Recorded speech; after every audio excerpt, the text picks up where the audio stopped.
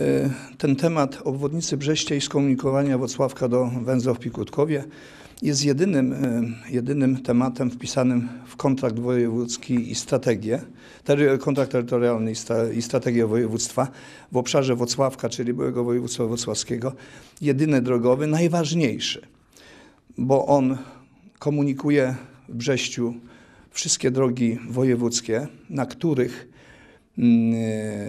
finanse e, na poziomie RPO, czyli marszałkowskie, będą budowały obwodnicę Lubrańca, y, Izbicy, y, skomunikowanie Brześcia inną trasą do Kowala, czyli wszystkie drogi będą miały rozwiązanie, a to, co w środku, wszystkie drogi, które będą dochodzić do, do Brześcia, może zaistnieć, że najważniejsze nie będzie tej obwodnicy.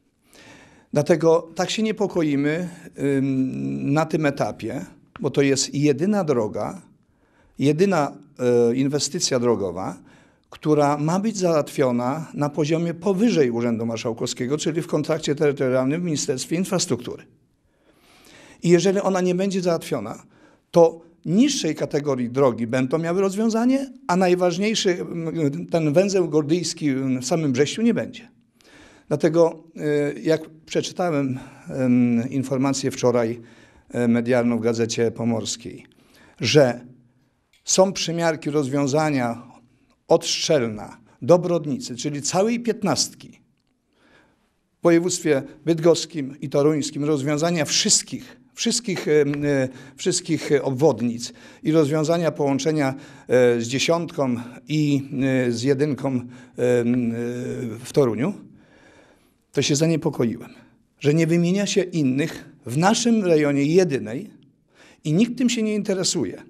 Dlatego wysłałem do pana marszałka i do wszystkich osób, które e, w tej koalicji rządzącej, czyli posłów z naszego terenu, pani e, e, Kopaczewskiej, Wojtkowskiego,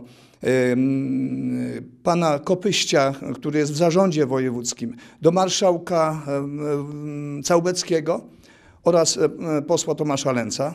Ci, którzy mają największy wpływ dzisiaj na decyzje podejmowane w zarządzie wojewódzkim, aby dopilnowali jedynej drogi, jedynej inwestycji drogowej w naszym e, terenie, która jeżeli nie będzie rozwiązana na tym poziomie, to przez następne e, kilkanaście lat będzie kuriozalne, inne niższej kategorii rozwiązane, węzeł gordyjski nie.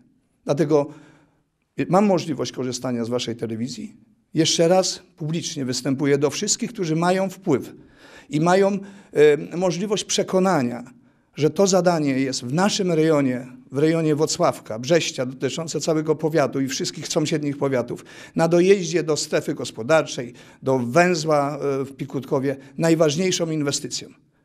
Jeżeli to nie zostanie dopilnowane, to będzie największa szkoda, jaka mogła być wyrządzona temu rejonowi. A przecież wiemy, że ten rejon zawsze jest na samym końcu. Najpierw rozwiązywane są problemy toruńskie i bydgoskie. Więc prośba do wszystkich tych osób, posłów i radnych wojewódzkich, żeby dopilnowali tego tematu.